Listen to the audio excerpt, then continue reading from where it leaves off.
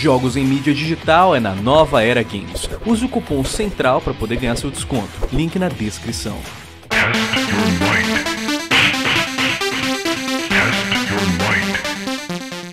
Acabou de começar o mês de abril e é claro vai ter muito game novo chegando, tanto né para surpreender a gente com um monte de coisa nova e foda, quanto também para surpreender a gente, né, por propostas bizarras. e cara, não dá para negar que esse mês tem tanta coisa bizarra, mano, que eu acho que vai ser um dos focos principais desse vídeo.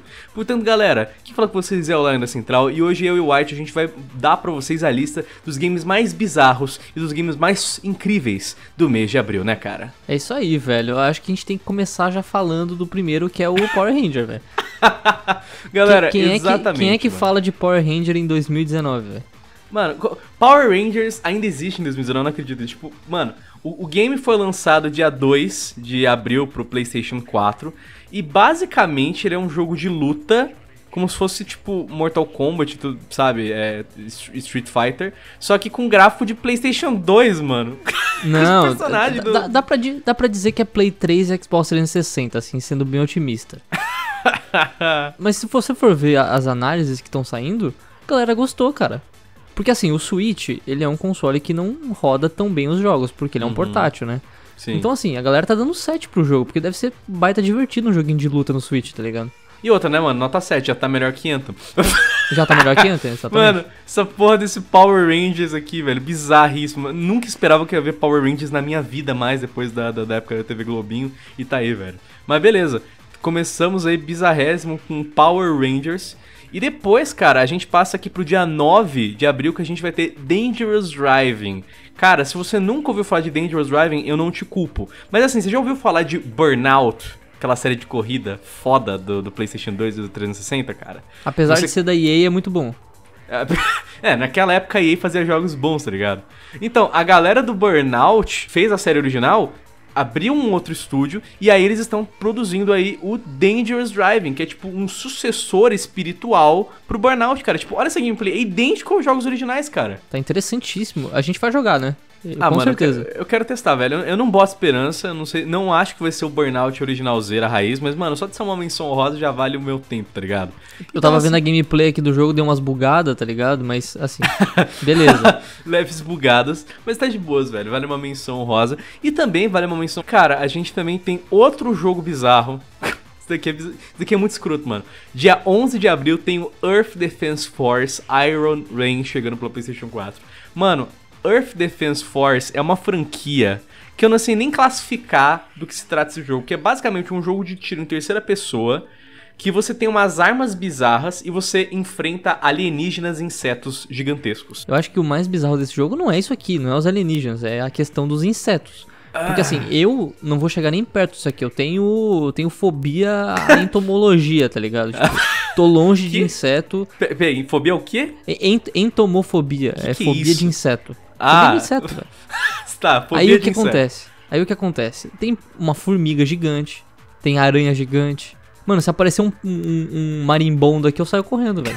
Então, eu, eu não jogo isso aqui, velho. Ah, não rola, mano. Ô, Não, pior- não, nem- eu, nem eu pau. já, eu já cheguei a testar um game dessa franquia, mano. Foi, foi uma das piores experiências gamers que eu já tive, mano. Porque é muito nojento, é muito bizarro. É muito Eu não- espero que nunca a empresa te mande o jogo pra análise. Não, não, não, por favor, não, eu, eu não faço questão de jogar isso aqui não, mano. Mas pra galera que gosta de enfrentar esses insetos mutantes gigantescos de destruindo cidade, velho, Earth Defense Force chegando.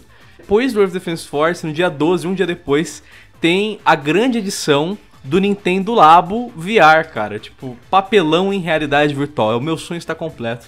Pague 60 dólares por um papelão.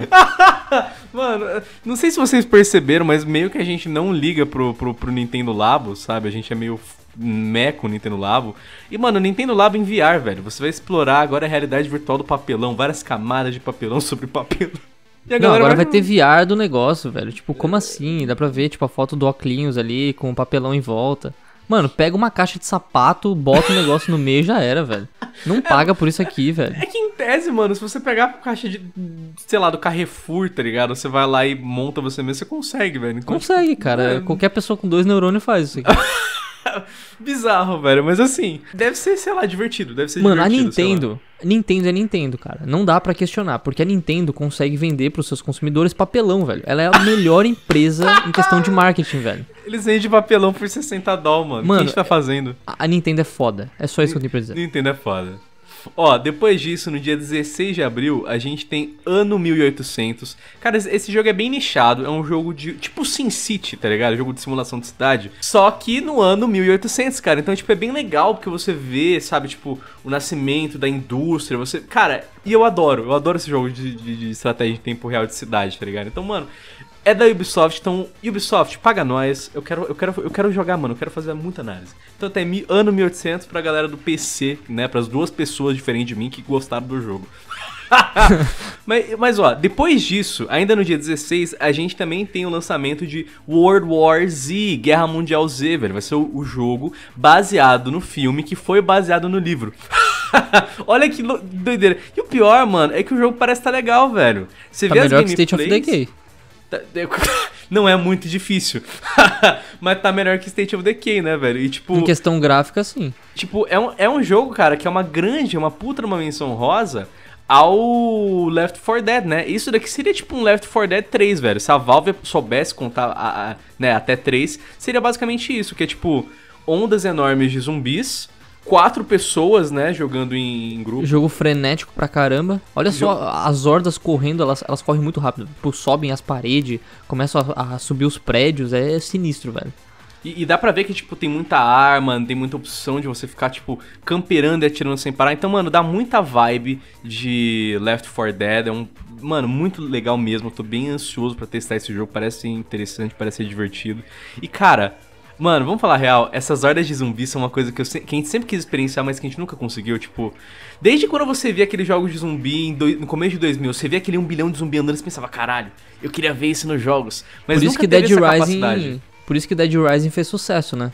Só que lá Sim. é um tom mais de humor, né? Você pode matar os caras passando com cortador de grama. Sim. Então é um bagulho da hora.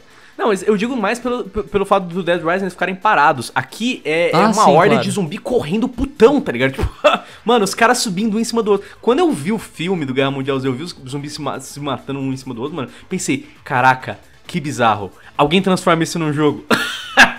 Muito da hora, tô ansioso, parece estar bem legal mesmo. E aí também, né, depois do Guerra Mundial Z chegando no dia 16, também vai ter o Cuphead, dia 18, chegando pro Nintendo Switch. Então não é nada demais, mas... É, agora você pode jogar honrosa, né? Cuphead cagando e ficar puto. você tá dando um cagão lá no banheiro, pega o seu Nintendo Switch e fica puto, né? É até bom, cara, porque você fica puto, você faz mais força, tá ligado? Sim, sim, isso mesmo. O que a gente tá falando, mano? O que que tá acontecendo? Não sei, próximo jogo. Ah, ó, dia 23, é aí que chegou, ó, o grande momento do mês, cara. Mortal Kombat! Tá, tá, tá. Mano, Mortal Kombat 11 chegando, mano. Cara, como eu tô hypado pra essa porra. Na moral, você tá hypado pra MK11? Ah, o tô jogo tá, hypado. tá bonito pra caramba, né? Gameplay também insana. Depois do bom trabalho que eles fizeram com Injustice 2, não espera pouco deles, né, cara? Não, Acho que o jogo vai ser incrível. O jogo tá parecendo ser muito foda. Eu só tô preocupado com a questão de microtransação, mano. Por favor, não metam golpes pagos. Para de meter como inventar combo pago, fatality pago. Não faz essas merda, mano. O jogo. o Não, jogo- ti- tirando é isso, em questão de gameplay, eu acho que eu não tenho nada a reclamar por enquanto. Não, mano, o jogo parece estar muito foda. Só não caguem em microtransação. Pelo amor de Deus, né, The Realm, não caguem em microtransação, que o jogo tá incrível, né, mano? Vou falar a real.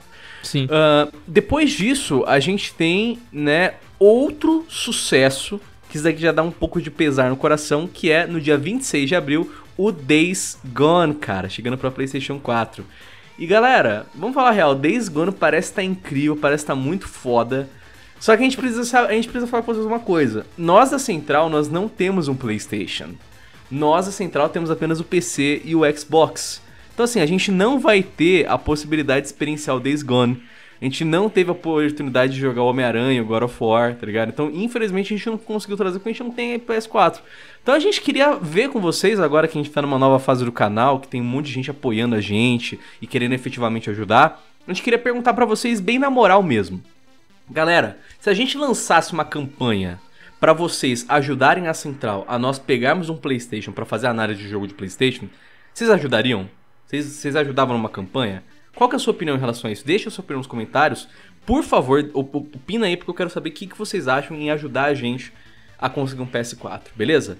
Mas, mendigagens à parte, o jogo parece estar da hora, não parece, cara? Tem até uns aspectos de World War Z com, a, com as hordas também, né? Eu só acho que tem umas diferenças aí.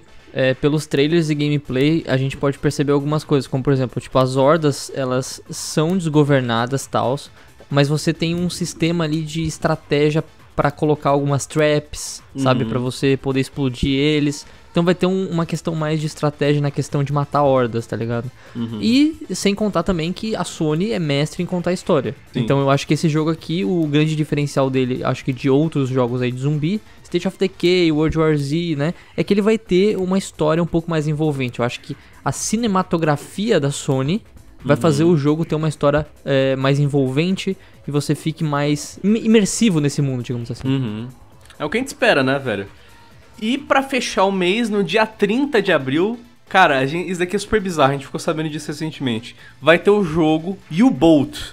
U-Boat, galera, é um jogo de simulador de submarino. Você, eu nunca ouvi falar disso. Vocês já ouviram falar de simulador de submarino, mano? Isso daqui é novidade pra mim, mano. Eu também nunca ouvi, mas a primeira coisa que eu faria quando eu entrasse nesse jogo, eu tentaria afundar ele. é tentar sabotar e ver o que, que rola, né, mano? É, só que o pior ah. é que ele é um submarino, né? Afundar é, é o certo, né? é, nem entendi a sua proposta. É fazer ele encher de água, né, mano? Isso, Sei isso. lá, bater numa queria... pedra. Falei matar as pessoas, é. Matar as pessoas. Jogos te deixam violentos. É isso jo que eu queria fazer. É, os deputados estão certos, tá vendo? O jogo te deixa violento. Ah, mano, na, na, moral, eu nunca ouvi falar de simulador de submarino. Essa é, a proposta, é uma das propostas mais bizarras que eu já ouvi recentemente. Mas, mano, até que parece que é interessante, tá ligado? Até parece que é interessante, mas Vamos ver o que, que dá. Enfim, galera. Esse foi o mês de abril no mundo dos jogos. A gente tem muito jogo bom, muito jogo incrível e a gente também tem muito jogo bizarro. Então quero saber a opinião de vocês, o que vocês acharam que são os grandes destaques de abril. Deixe eles aí nos comentários, bora debater. E por favor, dá o seu feedback se vocês topam ajudar a gente a pegar um Playstation 4 ou não, beleza? Não se esqueça também de se inscrever clicar no sininho de notificações, assim você não perde nenhum upload aqui do canal. Galera, quem falou com vocês foi o Lion White, muito obrigado pela sua atenção, espero que vocês tenham um ótimo dia, uma boa sorte nos campos de batalha. Até mais.